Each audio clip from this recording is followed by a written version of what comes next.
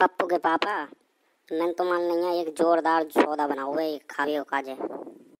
चो ऐसो का बना मारा थे ने बस सौदा खाद करने तुम एकदम घोड़ा है जाओ जू का सामान बना दिया तो ने ऐसो का ना अम्बा को